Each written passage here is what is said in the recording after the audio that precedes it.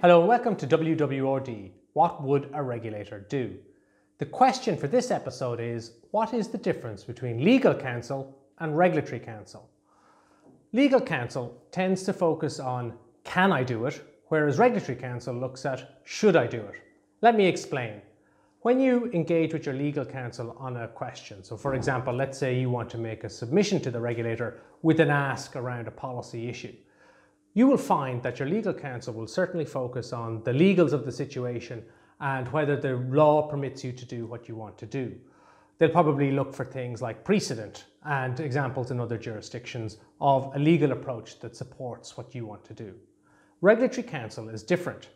Regulatory counsel what we do is we look at should I do it? So we look at the impact of what you're proposing to do, the rationale behind the rules as they were set up, and what it is that the regulator is trying to achieve, and whether your proposal helps them to achieve that.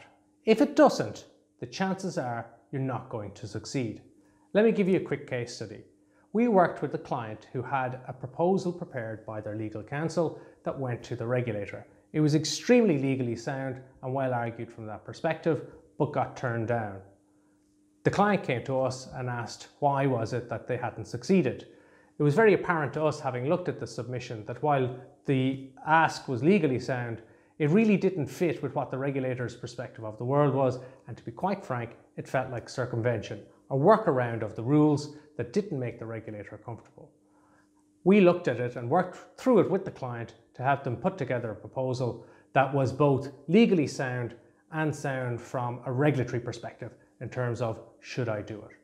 So that's something that you need to bear in mind as you engage with the regulator. You can't just look at can I do it, you must look at should I do it because that's exactly the approach that the regulator is going to take. That's all for this episode of WWRD. Thanks very much, Silent Bob. Anything to add? Cool. We'll catch you next time, the next episode of WWRD.